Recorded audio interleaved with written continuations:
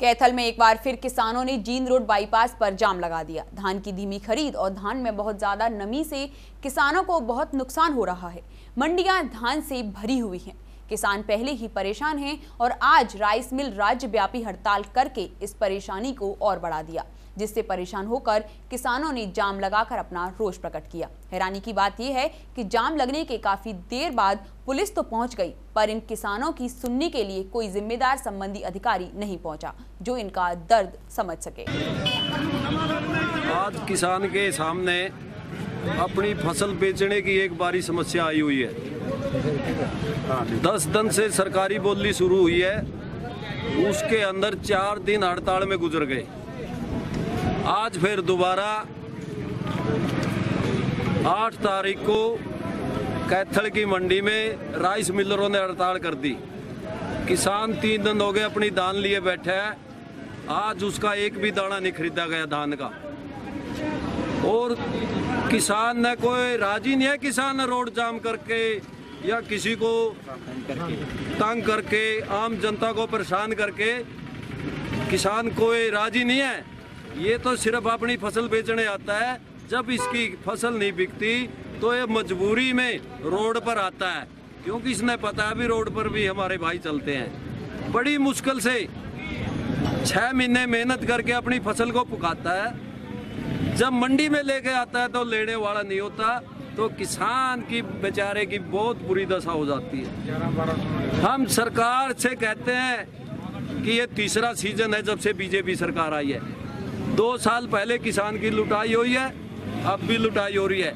मूल्य पंद्रह सौ दस रुपये खरीद रहे हैं ग्यारह सौ से लेके तेरह सौ रुपये तक। तेरह सौ तो ऊपर लेने तेरह सौ रुपये से ऊपर एक भी नहीं लेते।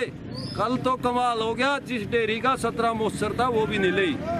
क्योंकि आज किसान को ये पूरी विश्वास हो चुका है कि भी ये सरकार किसान की विरोधी है और व्यापारियों की सरकार है।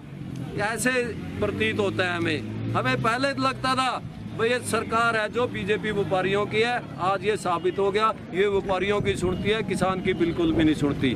तीन दिन हो गए, किसान दुखी है, चेहरा मुरझाया हुआ है बेचारे का। दिन रात मेहनत करता है, सांपों से लड़ता है जब मंडी में नाच लेकर आता है तो इसका कोई भी कदर नहीं है। तो हमें सरकार से कहते हैं कि भाई इसको फैसले को जल्दी से हल करे, किसानों का एक एक दाना बिकवाए। नहीं, किसान मजबूर होंगे आगे कदम उठाने के लिए। पीछे आप उदाहरण देख ले, जिसने नहीं चाहते हरियाणा में दोबारा कंडाला कांड। हो हम शांति चाहते हैं, हम अपने दाने बेचने चाहते हैं। हम किसान को खेत के अंदर बहुत काम है।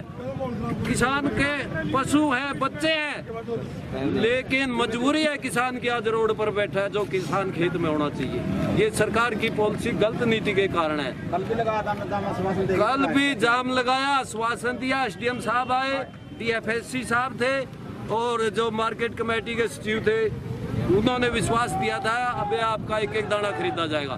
लेकिन कल भी दाना नहीं खरीदा कैथल की मंडी में। किसान दुखी है। तो बिल्कुल नहीं हम बार बार कहते हैं भाई इस समस्या को हल करे कोई भी तरीका निकाले।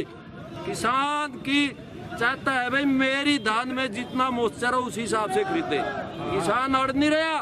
किसान धान बेचना चाहता है। जितना मॉइस्चर है उसके हिसाब से किसान को रेट दिया जावे।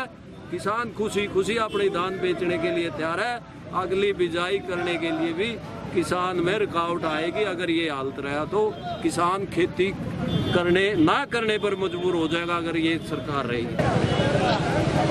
इसमें से कि आज जितने भी कैथल मंडी के जो जमींदार जो अपनी जीरी की फ़सल लेके आए थे, इनका ये कहना कि हम पिछले कई दिन से यहाँ पे बैठे हुए हैं और हमारी जीरी की जो है खरीद नहीं हो पा रही है। और ना ही कोई अधिकारी और कर्मचारी मंडी के अंदर है जिससे कि हमारी खरीद हो सके। और इस बात से रुष्ट हो गए इन लोगों ने आज अपना जाम लगाया।